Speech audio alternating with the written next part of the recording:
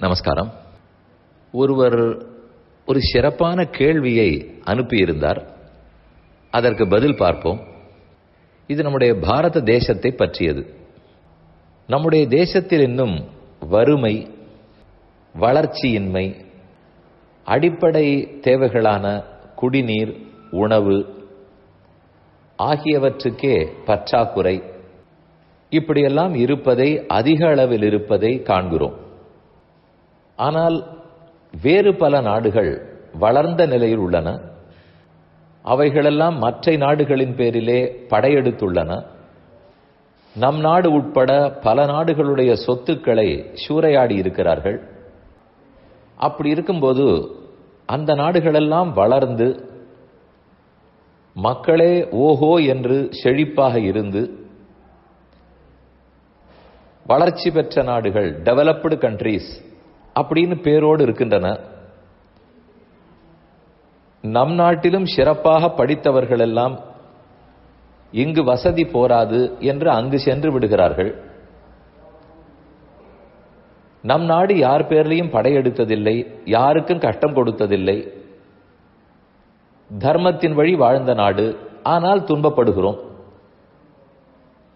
இப்படித்தான் நம்ம நாடு இருக்குமா?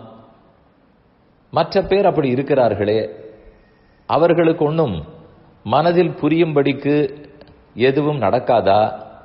அவர்களும் புரிந்து கொள்ள மாட்டார்களா? என்பதுதான் கேள்வி. இதற்கு இரண்டு மூணு பகுதிகளில் பதில் கூற வேண்டும்.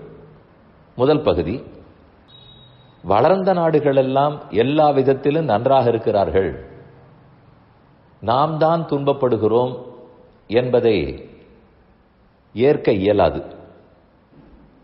வாஸ்தவம். நீங்கள் சொன்ன வறுமை உணவு பற்றாக்குறை தண்ணீரின்மை இதை போல சில விஷயங்களில் மற்ற நாடுகள் வளர்ந்துவிட்டன என்பது உண்மை. ஆனால் அந்த நாடுகளிலும் வேறு எத்தனையோ கஷ்டங்கள் இன்னல்கள். இயற்கை சீற்றம் எந்த நாட்டையும் விட்டு வைக்கவில்லை. பல நாட்கள் மின்சாரமே இல்லாமல் போன நாடுகளெல்லாம் வளர்ந்த நாடுகள் உள்ளன. எங்கும் தீவிரவாதம். யார் எதற்கு சுடுகிறார்கள்னே தெரியாமல் சுட்டு தள்ளுகிறார்கள். இப்படி எல்லாமே வளர்ந்த நாடுகளிலும் பார்க்கிறோம்.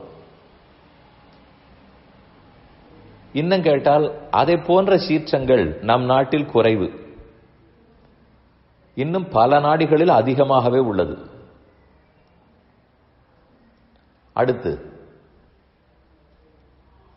இப்போது தொற்று நோய் வந்தபோது எந்த நாடு விட்டு வைக்கப்பட்டது? அது வளர்ந்த நாடோ வளராத நாடோ அனைவருக்கும் துன்பம். இன்னும் பல லட்சக்கணக்கில் பல்லாயிரக்கணக்கில் இறப்பு. அதனால் துன்பம்னு வரும்போது யாரும் துன்பப்பட்டுத்தான் தீருகிறார்கள். இது முதல் பகுதி பதில். இரண்டாவது. போகம் யோகம் என்று இரண்டு உள்ளது போகம் என்பது இந்த வாழ்க்கையின் உடல் ரீதியான இன்பம். யோகம் என்பது ஆத்ம ரீதியான முன்னேற்றம். இந்த ரெண்டனுக்குள் பாரத தேசம் கர்ம பூமியானபடியால் இங்கு யோகத்துக்குத்தான் முதன்மை. போகத்துக்கு அல்ல. இங்கிருந்து தான் முக்தி அடைய முடியும். அது ஒரு சிறப்பு. பெருமான் வேண்டுமென்றால் எங்கிருந்தும் அழைத்து போகலாம். அது வேறே. ஆனால் இந்த பூமிக்கே சிறப்பு முக்தி கொடுக்கக்கூடிய பூமி. அதனால் தான் திரும்ப திரும்ப பகவான் இங்கு அவதரிக்கிறார். அப்படி அவர் இங்கு அவதரித்தே நன்மை செய்திருக்கிறபடியால் தான் நாம் யாருக்கும் துன்பம் கொடுக்காமல் எல்லாருக்கும் நல்லதையே சொல்லி வந்திருக்கிறோம். அதனால் இந்த பூமியினுடைய அமைப்பே வேறு இதன் பயனே வேறு. எந்த நாட்டிலாவது தவம். மலைக்கு மேல் நின்று தவம். ஆயிரம் ஆண்டுகள் தவம். உண்ணாமல் உறங்காமல் தவம். இதெல்லாம் கேள்விப்பட்டிருக்கிறீர்களா? நம் நாட்டில் அடிக்கடி கேள்விப்படலாம். அத்தனை ரிஷிகளும் அதைத்தான் செய்துள்ளார்கள். ஆகவே இந்த நாட்டினுடைய அமைப்பு நோக்கமே யோகம். அதற்கென்று போகம் இல்லைன்னு நான் சொல்ல வரவில்லை. கண்டிப்பா உள்ளது. ஆனால் அதற்கு முக்கியத்துவம் இல்லை முதன்மை கிடையாது. யோகத்துக்குத்தான் முதன்மை. கண்ணனே கூறுகிறார் எஸ்ய அனுகிரகம் இச்சாமி தஸ்ய வித்தம் ஹராம்யகம் நான் யாருக்கு அருள் புரிய வேண்டும்னு பார்க்கிறேனோ எனக்கு அருகே கூப்பிட வேண்டும் நினைக்கிறேனோ அவனுடைய சொத்தை முதலில் அபகரிக்கிறேன். இன்னும் என்ன வேண்டும்? அதனால் இந்த நாட்டின் நோக்கம் வேறு என்பது இரண்டாவது பகுதி. அதை சொல்லும் போதே உங்களுக்கு ஒரு சந்தேகம் வரலாம். இதெல்லாம் சரி கீதையாகட்டும் பெருமானுடைய அருளாக இருக்கட்டும் வயிறு நிறைந்தால் தானே? முதல்ல பசியும் பட்டினியும் உள்ளோமே. வாஸ்தவம்தான். இப்ப மூன்றாவது பகுதிக்கு வருவோம். இப்படி இந்த நாடு இருக்கவில்லை. இதற்கு முன்னால் உற்பத்தியில் உலகத்திலேயே முதன்மை பெற்றவர்களாக இருந்தோம். செல்வத்திலும் செழிப்பிலும் நாமே முதன்மையில் இருந்தோம். நடுவே கிட்டத்தட்ட ஆயிரம் ஆண்டுகள் சூறையாடப்பட்டிருக்கிறோம். அதிலிருந்து மீண்டு வர வேண்டும். கண்டிப்பாக வருவோம். நாள் வெகு தொலைவில் இல்லை. மீண்டும் அதே செழிப்பு வரும். அந்த செழிப்பு வெறும் பணச்செழிப்பாக இராது. யோகத்தில் செழிப்போட கூடவே செல்வ செழிப்பும் இருக்கும். அப்போதும் உலக நாடுகளுக்கு நன்மைதான் செய்வோம். உலக அரங்கத்தில் கண்டிப்பா நமக்கு முதல் பெயர் இருக்கும். நடுவே இத்தனை நாள் இல்லையேன்னு நீங்கள் கேட்கலாம். வாஸ்தவன்தான் ஒரு ஆயிரம் ஆண்டுகள் இல்லை. யோகத்தில் ஆயிரம் ஆண்டுகள் என்பது பெரிய காலம் கிடையாது. போகத்துக்கு வேணுமானால் உலக இன்பத்துக்கு பத்து நிமிஷம் கூட பெரிய காலம். ஆனால் யோகத்துக்கு ஆயிரம் ஆண்டுகள் நாலாயிரம் ஆண்டுகள் நாற்பதாயிரம் ஆண்டுகள் கூட ஓடும். ஆனால் அந்த சமயத்தில் அதற்கு இடைப்பட்ட காலத்தில் இத்தனை பேர் துன்பப்பட வேண்டுமா? அது மிக நியாயமான கேள்வி. படக்கூடாது. அதற்குத்தான் நம் தர்ம சாஸ்திரங்கள் உள்ளன. யார் இருக்கப்பட்டவர்களோ அவர்கள் இல்லாதவர்களுக்கு கொடுக்க வேண்டும்.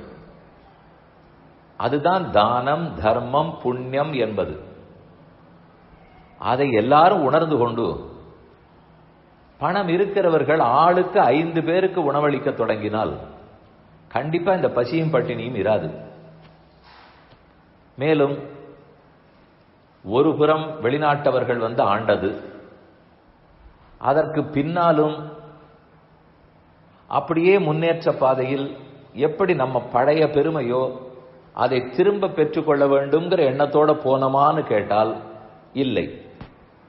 அந்த வெளிநாட்டு மோகத்திலும் அவர்கள் கொடுத்த பாதையிலுமே சுதந்திரம் வாங்கின பிற்பாடும் செல்ல முற்பட்டோம். அது மெதுமெதுவே மாற வேண்டும். விஞ்ஞானம் வரவேற்கப்படுகிறது. கணிதத்தை கொண்டாடுவோம். எல்லா விஞ்ஞான ரீதியான அறிவியல் பூர்வமான கண்டுபிடிப்பும் சிறந்தவையே உண்மை. அதை யாரும் குறை சொல்லவும் போவதில்லை. ஆனால் அதே சமயம் நம் பழமை. நீங்கள் கேட்கும் போதே புரிந்ததே. உலக நாடுகள் அத்தனையும் பல பேர் பேரிலே படையெடுத்தனர் சூறையாடினர். பல ஏழை நாடுகள் எல்லாம் கஷ்டப்பட்டனர். ஆனால் நம் நாடு இடத்தை விட்டு கொடுத்திருக்கிறோமே தவிர யாருக்கும் துன்பம் கொடுத்ததில்லை. அது மீண்டும் தொடரும் எப்போதும் தொடரும். அதே சமயத்தில் இப்படி இடைப்பட்ட காலத்தில் துன்பப்பட்டதற்கு அதுதான் தவம்னு வைத்துக் கொள்வோம். அந்த தவத்துக்கு பலம் கிடைக்க வேண்டுமே? நிச்சயம் கெட்டும் சீக்கிரமே கெட்டும். ஆனால் இந்த பூமி செழிப்பான பூமிதான். புண்ணிய பூமி கர்ம பூமி. இதிலே பொருள் ரீதியான செழிப்பும் கண்டிப்பாக வரும். நடுவாக இடைப்பட்ட காலத்தில் தான் ஒரு இருநூத்தி ஐம்பது ஆண்டுகளுக்கு முன்னால் கூட ஓரளவு இருந்தது. எட்டுநூறு ஆண்டுகளுக்கு முன்னால் ஓஹோ என்றே இருந்தது. அதற்கு பின்னால் பலரும் வந்தனர் கொள்ளையடித்தனர். அது நாம் துன்பத்தை ஏற்க வேண்டிய காலம் காலச்சக்கரத்தில் அதுவே கஷ்டம். அது தாண்டும் கண்டிப்பா இன்பம் நிலைக்கும் அத்தனை பேருக்கும் உணவு இருக்கும். அதை நோக்கித்தான் நாம் ஒவ்வொருத்தரும் முயற்சி எடுக்க வேண்டும். இந்த பாரத தேசத்தினுடைய யோகம் புரிந்தவர்கள் எல்லாம் தங்களிடத்தில் இருக்கும் செல்வத்தை மற்ற பேருக்கு முதலில் உணவளித்தலுக்கு பயன்படுத்த வேண்டும். எல்லாரும் நன்றாக இருக்க வேண்டும். அதுதான் பாரத தேசத்தினுடைய தர்மம் அதுதான் அடிப்படை. இதை நாம் செய்கிறோமான்னு பார்ப்பதற்கு இது ஒரு முக்கியமான பரீட்சை நேரம். அதை நாம் செய்ய செய்ய கண்டிப்பா பாரதம் முன்னேறும். மற்ற அனைவருக்கும் எப்போதும் நல்லது செய்து கொண்டே இருப்போம்.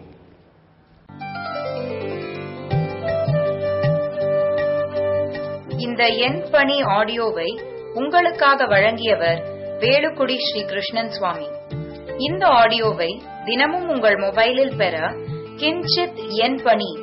கே ஐ என் சிஹெச்ஐடி இஎன் பிஏஎன்ஐ என்ற ஆப்பை கூகுள் பிளே ஸ்டோரிலோ அல்லது ஆப்பிள் ஐ ஸ்டோரிலோ டவுன்லோட் செய்து கொள்ளவும். தினந்தோறும் இது போன்ற உபன்யாசங்களை கேட்டு மகிழவும்.